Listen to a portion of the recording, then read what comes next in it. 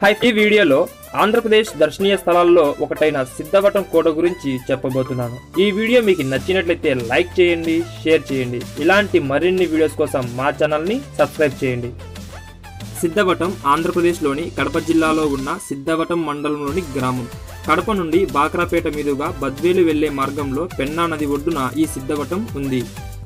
కడప నుండి సిద్ధవటం ఇరవై కిలోమీటర్ల దూరంలో ఉంది. ఈ సిద్ధవటం కోటకు పడమర మరియు తూర్పు భాగాన రెండు ద్వారాలు ఉన్నాయి. ముఖద్వారం ఇరువైపులా ఆంజనేయుడు మరియు గరుత్మంతుని శిల్పాలు ఉన్నాయి. పశ్చిమ ద్వారం ఇరువైపులా నాట్య భంగిమలో అందమైన శిల్పాలు ఉన్నాయి. అంతేకాకుండా ఈ ద్వారం లోపలి పైభాగాన రాహువు గ్రహణం పట్టడం గ్రహణం వదలటాన్ని వివరంగా తెలిపేలా చిత్రాలు ఆకట్టుకుంటాయి. ఈ ప్రాంతంలో సిద్ధులు ఎక్కువగా నివసిస్తూ ఉండేవారు.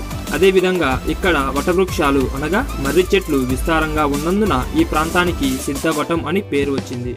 సిద్ధవటం పరిసర ప్రాంతాల్లో జైనులు కూడా నివసిస్తూ ఉండేవారు.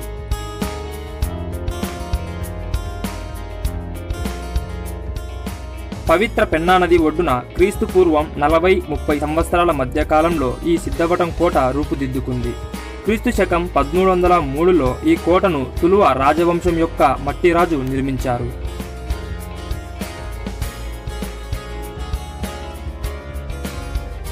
సుమారు ముప్పై ఆరు ఎకరాల పైబడి విస్తీర్ణంలో ఏర్పాటైన ఈ కోటను పద్దెనిమిది రాజవంశీయులు పాలించారు. మౌర్యుల నుంచి తూర్పు ఇండియా వర్తక సంఘం వరకు ఈ కోటను పాలించారు.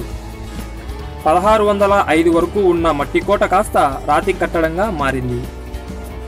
క్రీస్తు శకం పదిహేడు వందల తొంభై రెండులో టిప్పు సుల్తాను చేతి నుంచి నైజాము నవాబుల పాలనలోకి వారి నుంచి పద్దెనిమిది వందల ఎనభైలో తూర్పు ఇండియా వర్తక సంఘం ఆధీనంలోకి ఈ కోట చేరింది.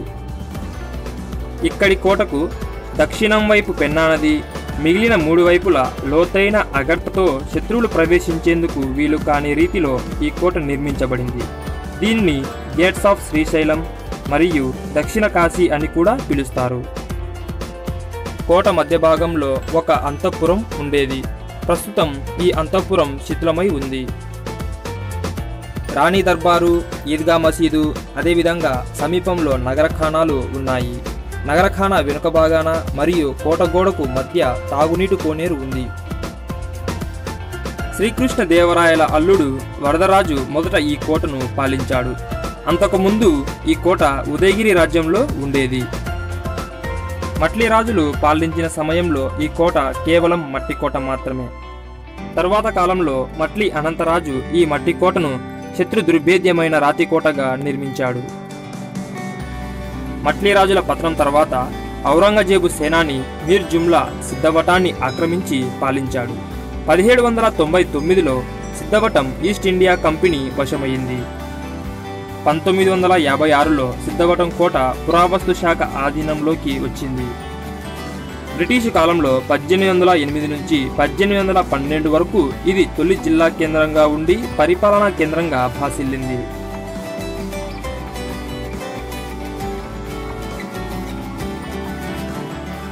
ఈ కోట పైభాగంలో గజలక్ష్మి శిల్పాలతో అలంకరించబడి ఉంది. అంతేకాక ఈ ప్రాంతాన్ని రక్షించటానికి ఒకప్పుడు ఉపయోగించిన పదిహేడు చదరపు బురుజులు ఇప్పటికీ కోటలో కనిపిస్తాయి.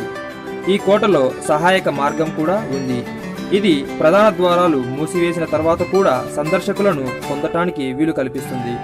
ఇది దక్షిణ కాశీకి ప్రవేశ ద్వారంగా పరిగణింపబడుతుంది.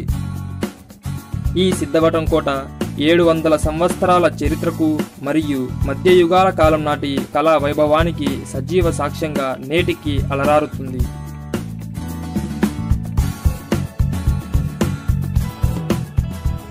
ఈ కోటను సెప్టెంబర్ మరియు అక్టోబర్ నెలలలో చూడవచ్చును. అంతేకాకుండా ఎండాకాలంలో కూడా సందర్శకులతో ఈ ప్రాంతం కిటకిటలాడుతుంది.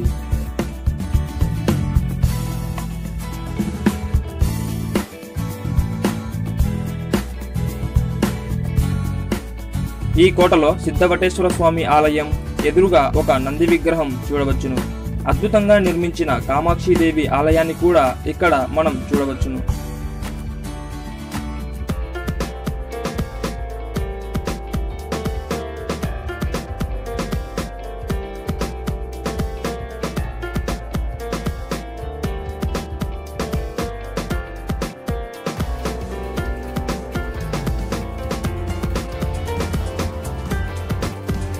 ఈ కోట నిజాం పాలనలోకి వెళ్ళిన తర్వాత వారు కోట వైపు చాలా ఇస్లామిక్ నిర్మాణాలు మరియు మసీదులను నిర్మించారు.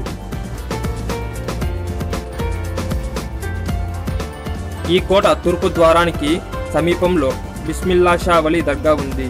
టిప్పు సుల్తాన్ కాలంలో దీన్ని నిర్మించారు. పక్కనే ఒక మసీదు కూడా ఉంది.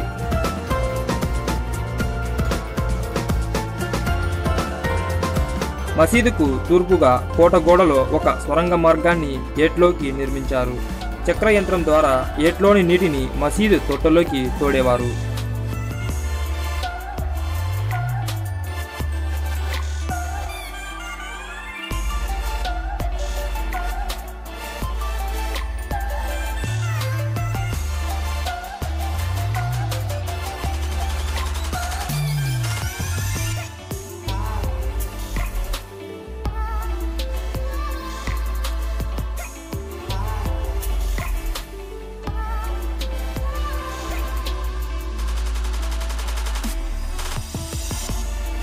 సిద్ధవటం సమీపంలో ఏటి పొడవున దేవాలయాలున్నాయి. అందులో రంగనాథ స్వామి ఆలయం చెప్పుకోదగినది.